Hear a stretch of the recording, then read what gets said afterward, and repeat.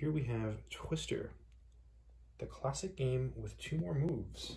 So, the front of the box, ages six and up, two plus players, adult assembly required. Let's turn the box over. So there is the back of the box.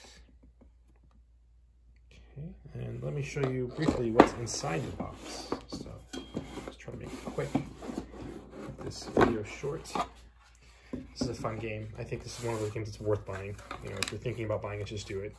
Um, it's really fun. So you get a mat, and I don't want to open the mat here because I'm holding the phone with one hand. But um, basically, you spin this wheel and you do things with this mat, and you have all kinds of fun. Right? Hence the name Twister. So really exciting game, um, and it's it's fun because it's a simple concept, you know, and you have so much fun. I think I'm gonna need both hands to close this. So. Anyways, if you're looking for a really fun game that you can have a lot of fun with, um, I think this one's pretty good. Take care.